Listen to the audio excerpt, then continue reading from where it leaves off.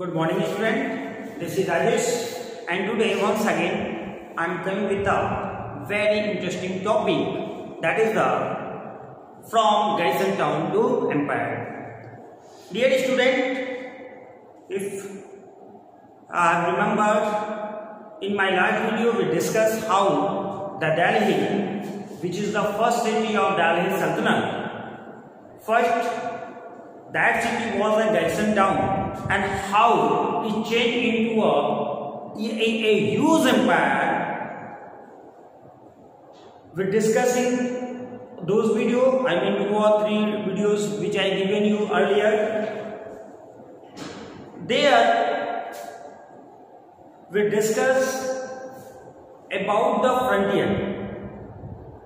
Actually the aim is that by this concept, we try to understand you how a garrison town, I mean Delhi, become a huge empire of Delhi Sultans.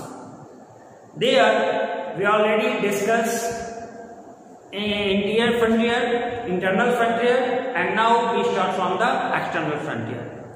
Internal frontier, we discussed there how Delhi Sultan control over the hinterland.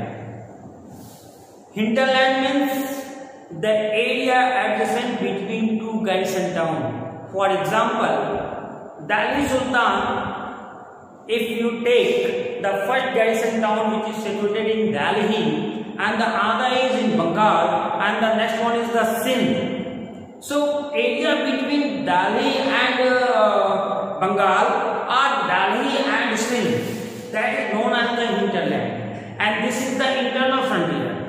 When Delhi Sultan tried to capture uh, both the garrison towns and form a big empire, they captured the hinterland between between two garrison towns. So not only this stage, only Delhi Sultan tried to control garrison town, uh, hinterland as well as they fought on the external frontiers too. So, what is the means of external frontier? External frontier का क्या sense हो जाता है internal का sense हम कह लेते हैं कि चलो भाई आंतरिक मोर्चे पे, और एक्सटर्नल फ्रंटियर का मतलब हो गया बाहरी मोर्चे पे तो बाहरी मोर्चा क्या कहलाता है तो those area which not under control of Delhi sultan known as the external area इनको हम एक बाहरी इलाका कह सकते हैं जहाँ पे उनका कोई अधिपत्य नहीं था, कोई गैरिसन टाउन भी नहीं था। ओके और इसमें सबसे मेन रोल प्ले करते हैं अलाउद्दीन खिलजी एंड मोहम्मद तुगलक। सो हम स्टार्ट से यहीं से करते हैं। From garrison town to empire हम इंटरनल फ्रंटियर को डिस्कस कर चुके हैं।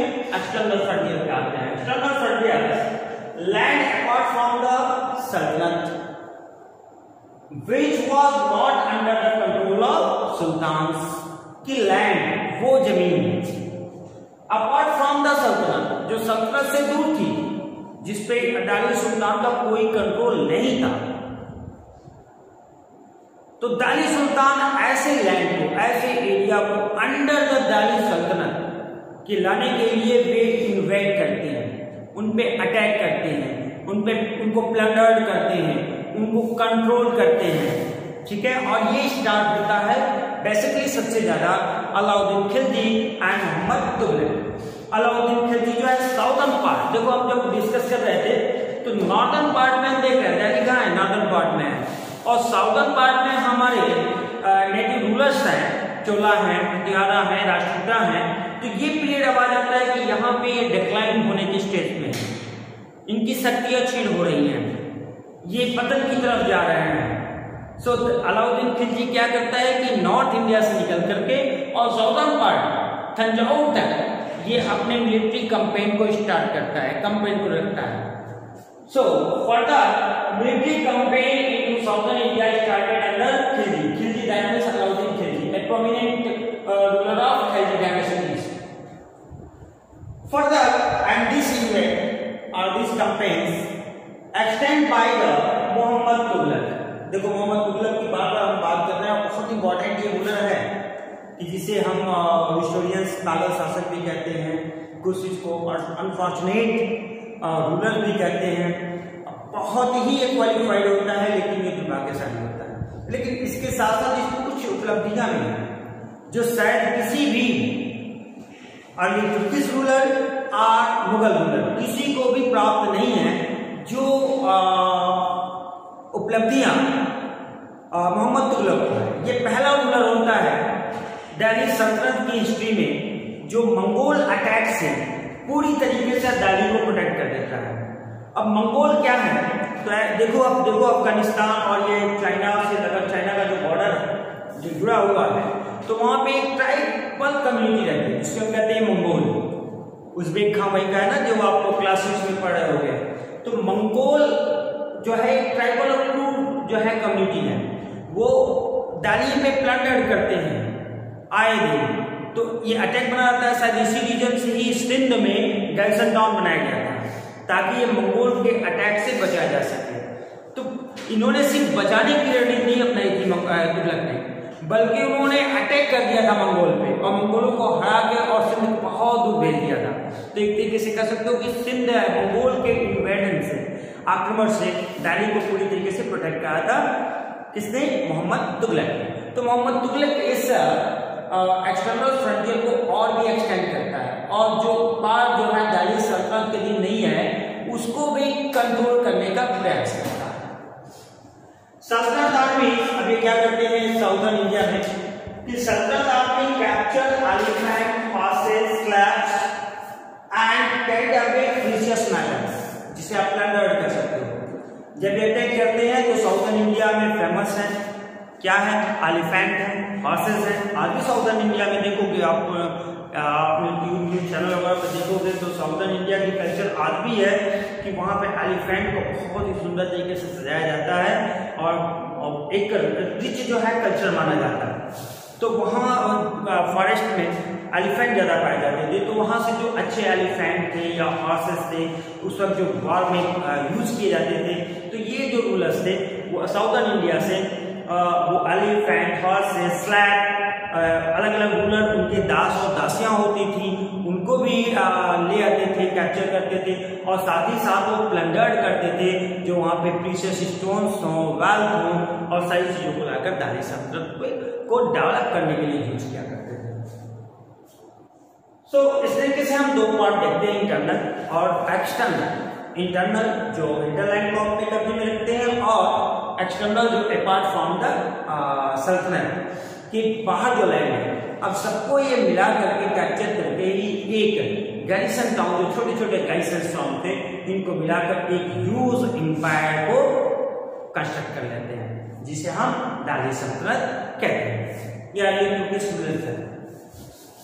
एक इंपॉर्टेंट पार्ट है आपके टेक्स्ट बुक में। ऐसा हो ही नहीं सकता है कि अर्ली तुर्किश रूलर आए मुगल्स आए और हम रिलीजियस फेथ की बात ना करें। बिल्कुल। जब ये रूलर्स आते हैं तो हमारे कल्चर में चेंजेस आते हैं, हमारे लाइफ स्टाइल में चेंजेस आते हैं, कुछ नए रिलेशन भी आते हैं, बहुत ही तेज़ी से सेपरेट होते हैं। आप देखोगे कि एंसेंट इंडिया में भी पढ़ रहे थे तो चाहे वो राजा राज प्रथम हो रूलर्स क्या करते हैं कि कैंपस कंस्ट्रक्ट करते हैं। क्योंकि रिलीजियस फेथ पे अगर उनका कंट्रोल है तो वे बहुत ही इजिली पॉपुलैरिटी गेन कर पाते हैं। तो सेम जब अर्ली ब्रिटिश रूलर आते हैं तो यहाँ पे रिलीजन जो इस्लाम रिलीजन है, उसको बहुत ही तेज़ी से स्प्रेड करने का प्रयास करते हैं। इसके लिए they form the Muslim actually they themselves told that they are the protector. वे अपने आप को इस्लाम का प्रोडक्ट कहते हैं। और इसके लिए क्या करते हैं? मास्क जिसे हम एक अरबिक वर्ड है, मस्जिद। मस्जिद के नाम से जानते हैं। एक रिलीजियस प्लेस है where Muslim community pray together known as namaz जहाँ पे वे नमाज़ करते हैं। तो आइए हम इसके बारे में कुछ डिटेल जानते हैं What is mosque? A place where Muslim prostrates in the reverence of Allah. Prostrate का मतलब होता है घुटने टेकना घुटने टेकना है, किसी को हम अपने आप को पूरी तरीके से डेडिकेट कर दें, समर्पित कर दें। तो आप घुटने टेकना किसके रेफरेंस में? Allah. Allah supreme God in the Muslim community वो इस्लाम जो है, एक सुप्रीम गॉड मानता है, उसको प्रोनाउंस करता है एज अ अल्लाह उसी मास्क में हम देखेंगे कांग्रेसनल मास्क अगर आप में से कुछ मुस्लिम कम्युनिटी के स्टूडेंट हैं तो बड़े आसानी से इसको देख पाएँगे, क्योंकि वे पूरी उनकी कल्चर और पूरी जो है फादर मदर जो है, इस चीज़ को देख के आए तो कांग्रेसनल मास्क क्या होता है? चलो रिलीजन में है फाइव टाइम्स अडे नमाज़ प्रे करना है, अल्लाह को जो इस्लाम को फॉलो करते हैं, जो उनके बिलीवर्स हैं। साथ ही साथ एक कॉमन प्रेयर होता है ऑन फ्राइडे फ्राइडे को एक कॉमन प्रेयर होता है जहाँ पे हर सिटी का एक मेन मस्जिद का लो या मास्क का लो, जिसे हम कहते हैं कांग्रेसनल मास्क जिसको आप जनरली जामा मस्जिद भी कहते हैं। इसमें जाके मुस्लिम कम्युनिटी के लोग ऑन फ्राइडे एक कॉमन प्रेयर साथ में प्रे करते हैं। तो कांग्रेसनल मास्क है main mosque in the city where Friday common prayer offered. Is known as the Jama Masjid इसे हम जामा मस्जिद कहते हैं। What the Muslim do in the mosque क्या करते हैं? मुस्लिम कम्युनिटी क्या करती है? तो Muslim read their prayer together अपने प्रेयर को एक साथ प्रे करते हैं, जिसे हम नमाज़ कहते हैं। इमाम अब इमाम कौन है? सारे रिलीजन्स में देखोगे कि एक रिस्पेक्टेड पर्सन होता है। अगर क्रिश्चियनिटी में जाते हो फादर हो गया। हिंदू रिलीजन में आते हो प्रिस्ट हो गया। जो रिचुअल्स को परफॉर्म कराता है, जो लर्नर मैन होता है, जो विद्वान होता है, जो ज्ञानी होता है, जो अच्छी बातें बताता है, जो धर्म के बारे में अच्छी जानकारी रखता है, वो स्टोरी के माध्यम से, किसी के भी माध्यम से वो हमें अपने धर्म के बारे में चीज़ों को डिलीवर करता है। तो सेम इमाम जो है, एक most respected and learned man होता है इन मास में जो करता क्या है? कि choosing for ritual of prayers कि वे प्रेयर्स चूज़ किया जाता है, जो प्रेयर्स को ऑफ़र कराता है प्रेयर कराता है, नमाज़ कराता है। इमाम आल्सो डिलीवर द शर्मन एक ज्ञान की बातें उपदेशक का कार्य करता है। Sermon during the Friday prayer, जिसे हम कुतबा कहते हैं। फ्राइडे, जो प्रेयर होता है, उसमें इमाम क्या करता है? सरमन भी डिलीवर करता है। In front of the Muslim Islam believers during prayer Muslim stand facing west अब देखोगे अगर आप इंडिया में हो, हम इंडिया है तो इंडिया से ही बात कर रहे हैं, कि अगर इंडिया में मैं तो जब भी हम प्रे करते हैं आप में से कोई भी अगर नमाज़ पे करता है तो आप इसको देख रहे होंगे कि आप जो फेस करते हो किस साइड में जाते हो तो वेस्ट में जाते हो। अब वेस्ट में हम फेस क्यों करते हैं? वेस्ट में फेस करने का कारण है कि जो होली प्लेस है, इस्लाम रिलीजन का, वो है मक्का, जो कि सिचुएटेड है सऊदी अरबिया में। और सऊदी अरबिया जो है इंडिया के वेस्ट में है। वेस्ट में वहाँ किबला, एक होली प्लेस है किबला जहाँ पे उनकी मान्यता है कि यहाँ पे अल्लाह का जो है, बर्थ है या अल्लाह का ये प्लेस है, अल्लाह यहाँ है तो ऑल द मुस्लिम जब भी प्रेयर नमाज़ प्रे करते हैं, वे अपने फेस को टुवार्ड्स करते हैं वेस्ट की तरफ़, किबला की तरफ़ ओके जो कि मक्का, हमारा वेस्ट है। इसके साथ ही साथ, जो हम उस मस्जिद के बारे में देख रहे हैं कि रूलर समय समय चाहे वो इस्लाम अर्ली तुर्किश रूलर हो मुगल्स हो, या हमारे अर्ली नेटिव रूलर्स हो। उन्होंने रिलीजन को बहुत ज़्यादा जो है प्रोमिनेंट माना है। उसको स्प्रेड करने का प्रयास किया है, उसको गेन करने का प्रयास, उनको बनाने का प्रयास किया है अवेलेबल बढ़ाने का प्रयास किया ताकि उन्हें पॉपुलरिटी गेन हो। तो ऐसे ही जब अर्ली तुर्किश रूलर आते हैं या मुगल भी आते हैं तो वे आपको सिटीज़ में मस्जिद मॉस्क को कंस्ट्रक्ट करने का काम करते हैं। आपके टेक्स्ट बुक में कुछ फोटोग्राफ्स गिवन हैं और आप उसको देख सकते हो। जैसे पहले जो सिटी है दिल्ली दिल्ली सल्तनत में, वहाँ पे कुत इस्लाम। आप देखेंगे आपके टेक्स्ट बुक में गिवन है कुत इस्लाम मॉस्क बनाया जाता है। उस पर देखोगे कि मीनारेट्स मीनारे बनाई गई हैं। है ना? आपने देखा कुतुब मीनार किसने बनाया है? कुतुबुद्दीन ऐबक कंप्लीट किसने कराया है?